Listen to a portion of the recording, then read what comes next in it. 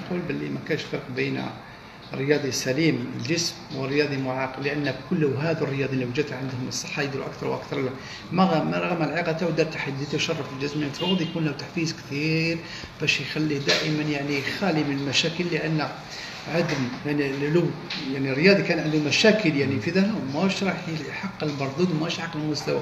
العالي المفروض هذه المشاكل وهذه الأمور على كل حال يراعوها بالاعتبار وينحوها له ويحطوه في ظروف مناسبة حتى تخليه يمكن يعني يواصل التدريب تاعو باش يشرف الجزائر وأنا نتأسف يعني.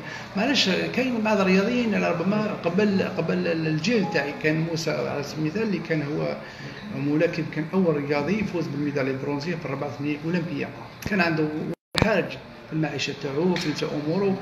أنا نظن من المفروض هذا الرياضي يحقق المستوى عليه لازم تكون دراسة تخطيط مشوارهم الحياة بعد ما يكملوا مشوارهم الرياضي.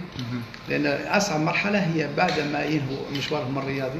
هذه المرحلة الصعبه لأنها بعض الحالات القمة والنجومية عام ما تخليش ما تعرفش ما يعرفش الرياضي كيفاش يسير أموره في الحياة ولكن أنا لازم نتمنى إن شاء الله يكون اهتمام تكون رعاية لها الاجيال أنا بس نشوف رياضيين يعني بهذه الصورة. نتأسف كثير لأنهم راه رمز الاجيال الاجيال المفروض يكونوا في أحسن ظروف